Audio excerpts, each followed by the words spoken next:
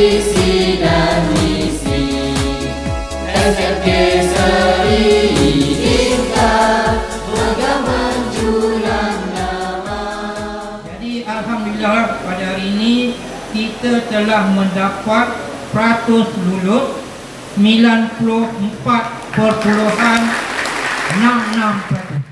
Okey.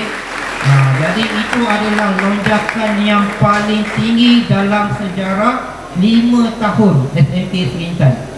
Okey. Jadi grade purata yang kita dapat, grade purata sekolah adalah 5.28.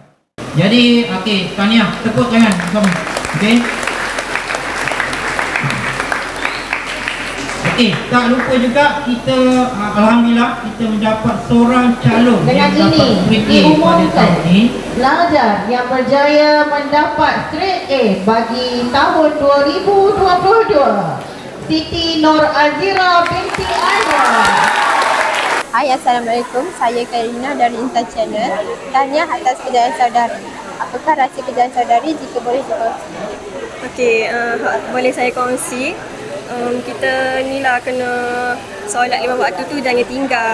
Lepas tu uh, kita ni lah banyak ke wak maya ajak ke minta kita ni hati terang ke nak menimba ilmu ni kan. Lepas tu uh, sebagai umat Islam ni kita macam ni je lah uh, buat maya ajak tu banyak lah minta apa kita nak kan sebab kita nak dekat diri dengan Allah kita nak terima ilmu dengan baik dengan lancar apa Lepas tu untuk subjek hok kita kena ngapa ni uh, kalau boleh.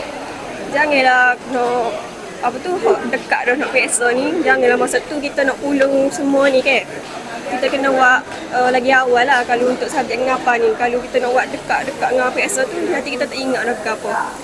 Apakah rancangan saudari selepas ini? Okey, uh, rancangan macam berdasarkan lah ni ni saya kalau boleh pergi ke IPG, saya akan pergi ke IPG lah sebab nak jadi cikgu. Lepas tu kalau saya tak pergi, kalau IPG tu tak diterima tawaran tu, saya proceed ke account lah sebab sebab saya suka uh, bidang tu lah kan. Uh, itu je lah. Okay, terima kasih kerana sudah meluangkan masa. Kiranya ada Nur Alia Nashwa binti Hasbuna Rizwan. Rahsia dia belajar sungguh lah. Tak ada gapa dah. Uh, kita kena belajar sungguh lah. Uh, lepas tu Maya tu jadi tinggal. Hormat cikgu. Gapa cikgu suruh buat, buat. Jangan, jangan tak buat.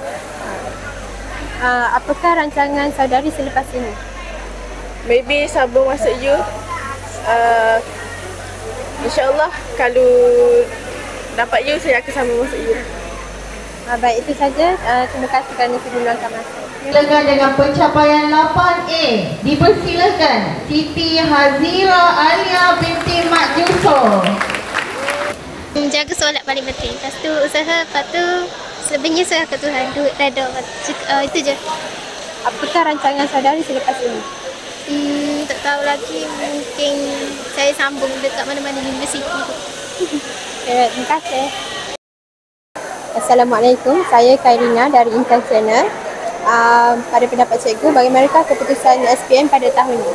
Okay, uh, Alhamdulillah, okay, SMK Sri Intan telah mendapat keputusan yang luar biasa lah dengan lonjakan yang amat tinggi okay, dibandingkan dengan uh, keputusan SPM 2021 lah.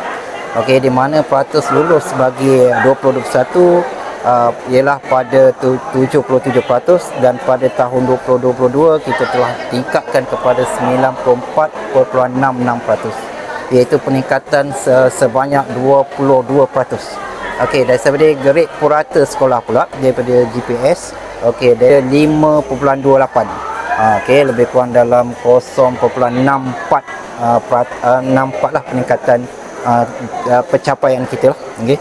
Uh, itulah dan uh, pada tahun ini juga kita dapat lahirkan seorang pelajar Sri A. Okey Sri A. Dan dua pelajar hampir 8A 1B dan seorang lagi 8A 1C okey. Uh, pada pandangan cikgu, apakah faktor yang menyumbang kepada keputusan tersebut? Okey, uh, uh, faktor utama peningkatan tersebut adalah kesedaran lah, kesedaran daripada pelajar sendiri nak berjaya, okey nak meneruskan kecemerlangan dan kerjaya mereka. Di samping itu mereka juga menyahut cabaran yang diberikan oleh pihak sekolah lah. Okey ha, kemudian hasil usaha gigih daripada guru-guru. Okey yang apa uh, apa orang kata mengajar tak kira masa.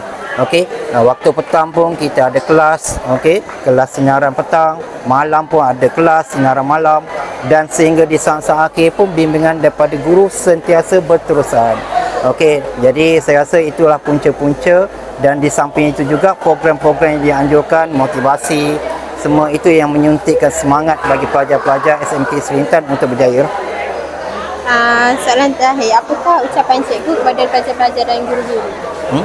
Ucapan. Ucapan pelajar yang lepas ke pelajar yang se- yang sekarang? Uh, yang sekarang. Yang sekarang. Okey, untuk pelajar-pelajar yang sekarang ni mereka sebenarnya ada satu cabaran yang hebat. Okey, selepas uh, SPM 2022 ni di mana mereka perlu menaikkan lagi peratus lulus daripada 97.66 kepada uh, lebih tinggi lah daripada 97.66 dan grade purata pun kena tengok kena naikkan daripada 5.28 kepada lebih baik daripada 5.28 itulah cabaran dia dan saya rasa kita pun uh, pada tahun ini pun kita dah mula daripada awal okey program-program yang kita jalankan. Dan saya rasa insyaallah lah mereka akan dapat capai lah seperti mana yang kita uh, harapkan. Okay, baik. Uh, terima kasih kerana okay, meluangkan sama. Capai visi dan misi. SMK Seri Tingkat